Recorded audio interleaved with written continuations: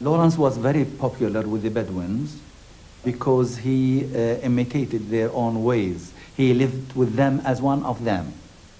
And he ate the food they ate. He rode the camels as they rode, distances as much as they did.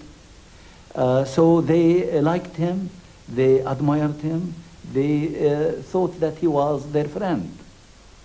I think that he assumed too much in saying that Aqaba was captured by his plans and by his own designs. The expedition went, to my mind, its ordinary course of a tribal, of a tribal raid. And this tribal raid reached Aqaba. I will not deny Lawrence's share, but I will not give him, really, to be fair to others, I will not give him all the credit. I think just uh, imagination. He imagined.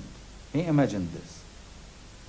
I, I don't know what was his motive, either to glorify himself uh, much, much more, or uh, to inflict some damage on himself by uh, stating that he, he, uh, went uh, uh, into a lot of torment.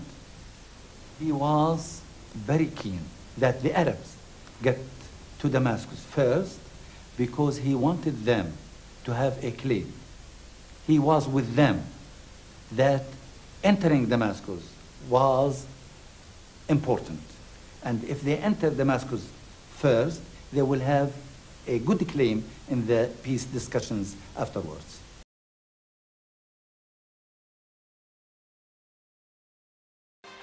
Lawrence was a man of legend.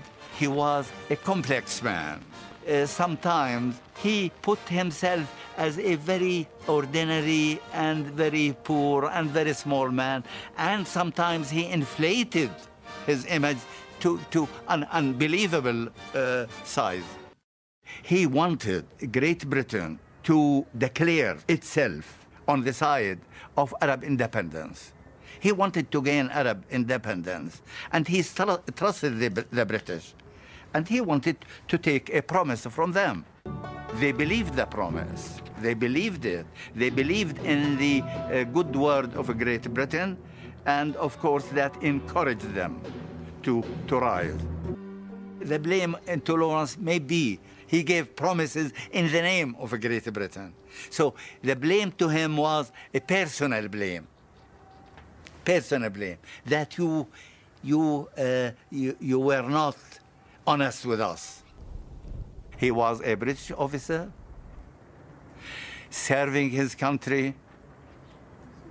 But of course, he has his own ideas of serving his country. Damascus is a great city from old, old days. And it was also the center of the uh, group of nationalists who originally thought of the revolt. The Arabs believed especially in the word of a Great Britain. They, they you know, uh, the word of a Great Britain was uh, greatly respected. He was helping the Arabs. He was fighting with them. He was doing his best for them because, you know, it was, to me, it is so clear and it is so plain.